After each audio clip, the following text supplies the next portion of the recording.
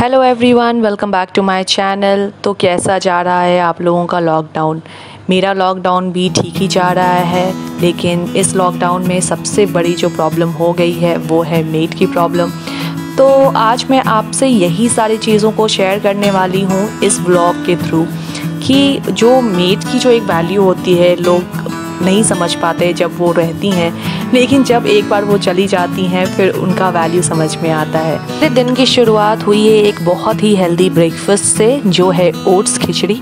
तो इसके जो इंग्रेडिएंट्स हैं, वो तो आप देख ही रहे हैं। इसमें मैंने लिया है एक प्याज, एक टमाटर और एक मिर्ची। और आप, बाकी जो भी सब्ज़ी डालना चाहते हैं, वो सब वेजिटेबल डाल सकते हैं। इट्स अप टू यू जो भी आपको पसंद है। मैंने अभी फ़िलहाल इतना ही लिया है, क्योंकि मुझे बहुत जल्दी कुक करना है। क्योंकि मुझे अपनी बेटी को भी यही ब्रेकफास्ट में खिलाना है। तो मेरी बेटी अभी हो गई है ग्यारह महीने की तो मैं उसको अभी जो भी हम सब खाते हैं, वही खिलाने की कोशिश कर रही हूँ। ताकि जब उसका एक साल कंप्लीट हो जाए तो वो आराम से हमारे साथ अच्छे से खा सके। उसके लिए अलग से कुक करने की ज़रूरत ना पड़े। तो आप चलिए, हम इसको फिर अब चॉप करना स्टार्ट करते हैं। ये वेजिटेबल को आपको फाइनली चॉप कर लेना है। आप जैसा देख सकते हैं वीडियो में, ऐसे ही बिल्कुल चॉप करना है। सारे वेजिटेबल को आपको चॉप कर लेना है। इसमें आप लहसुन भी डाल सकते हैं। मुझे थोड़ा जल्दी थी, इसलिए मैं लहसुन नहीं डाल पाई। बट आप डाल सकते हैं, अदरक, लहसुन, सब कुछ डाल सकते हैं।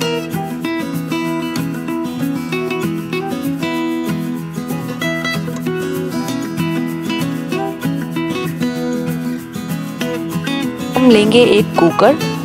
इसमें थोड़ा सा हमें घी डाल देना है लाइक एक स्पून मैंने डाला है थोड़ा सा जीरा डालना है थोड़ा सा हींग, और फिर हमें डालना है इसमें जो मिर्ची हमने काटा है। फिर हम डालेंगे इसमें प्याज, जो भी प्याज आपने डाला है, वो सारा प्याज अच्छे से हमें इसमें भूनना है। कुछ जो भी आप सब्ज़ी ले रहे हैं, आप थोड़ा इसे अच्छे से भूनें, क्योंकि इसका टेस्ट बहुत अलग से आता है।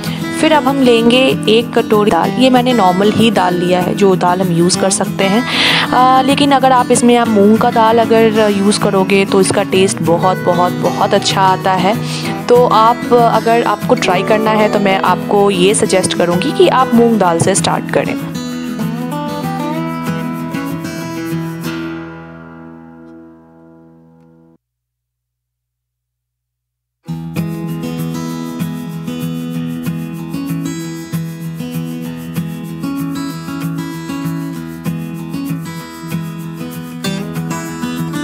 हम डालेंगे टमाटर और फिर हम वैसे ही रिपीट करेंगे। अच्छे से हमें थोड़ा सौते कर लेना है। लाइक दो से तीन मिनट आप इसे सौते करें और फिर हम इसमें डालेंगे दाल। दाल को भी आपको दो से तीन मिनट भूनने के बाद आपको सेम उतना ही क्वांटिटी जितना आपने दाल लिया है, उतना ही क्वांटिटी आपको ओट्स लेना है।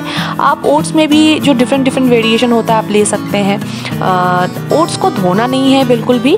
आपको सेम जैसा क्योंकि ओट्स तो क्लीन ही रहता है तो आपको बस इसे डालना है कुकर में और इसे दो से तीन मिनट आपको भूनना है। और आप इसमें इसी टाइम पे थोड़ा नमक और थोड़ा हल्दी डाल सकते हैं। अब हम डालेंगे इसमें पानी। तो पानी आपको जितना आपका खिचड़ी है, खिचड़ी से बिल्कुल डबल क्वांटिटी में आपको पानी डालना है। अगर आपको कुछ भी इसमें से इंग्रेडिएंट्स थोड़ा ऊपर नीचे करना है, आप बिल्कुल अपने अकॉर्डिंग कर सकते हैं, कोई स्ट्रिक्ट रूल नहीं है। तो अब हम कुकर के ढक्कन को लगाएँगे और इसमें चार से पाँच बिस्सल लगाएँगे।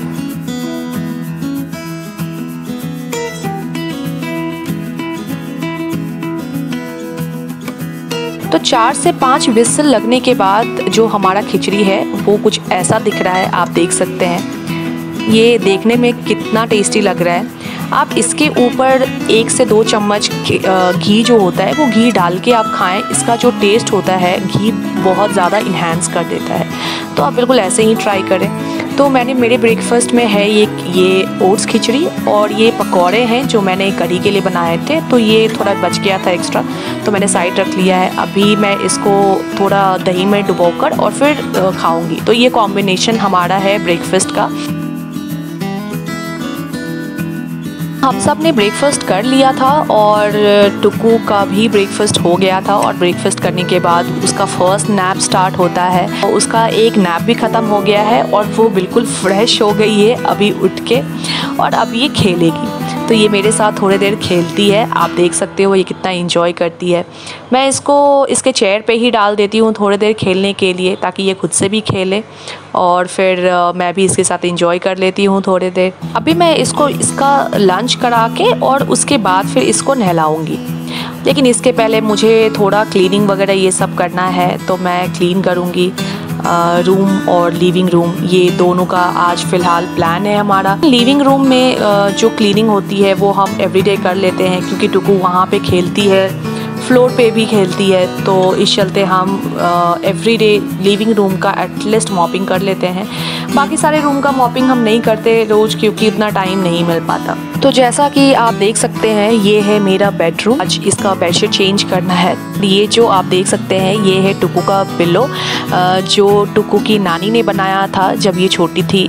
तो जो छोटे बच्चे होते हैं, वो मस्टर्ड वाले पिल्लो पे ही सुलाया जाता है बच्चों को, ताकि उनका जो सर का जो शेप है, वो राउंड हो। तो वो टुकू की नानी ने ऑलरेडी दे के भेजा था यहाँ पे तो मैं बैंगलोर ले आई उसको साथ में। हालाँकि अभी रोज़ वो सोती नहीं है इस पर बट मैं इसको अपने बेड पे ही डाल देती हूँ ताकि टुकू इसके साथ खेलती भी है, थोड़ा इन्जॉय भी करती है। तो आप देख सकते हैं, मैंने बेडशीट तो अभी चेंज कर लिया है इस रूम का।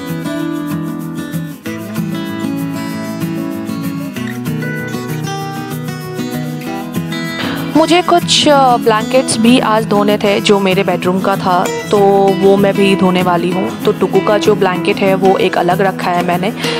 तो उसका ब्लैंकेट और जो हमारा ब्लैंकेट होता है, वो दोनों मैं आज धोने के लिए डाल रही हूँ। जो बच्चों का ब्लैंकेट है, मैं ये सजेस्ट करूँगी कि आप वीकली एटलीस्ट एक बार धो लो, क्योंकि उसमें बहुत गंदा भी होता है और बच्चे उसको बार बार मुँह में लेते हैं। तो जो झाड़ू का जो प्रोसेस होता है, वो स्टार्ट होता है मेरा लिविंग रूम से, जैसा कि आप देख सकते हैं कि मैंने झाड़ू देना स्टार्ट कर दिया है। और अभी तो मुझे बहुत बहुत बहुत ज़्यादा मैं मिस कर रही हूँ अपनी मेड को। और अभी उनका वैल्यू समझ में आ रहा है क्योंकि हमें समझ में नहीं आता जब वो आती, बस इतना काम करने में ही हमें कितना ज़्यादा टाइम लग जाता है और हम कितना थक जाते हैं। तो वैसी बात है कि वो भी इतना थकती होंगी।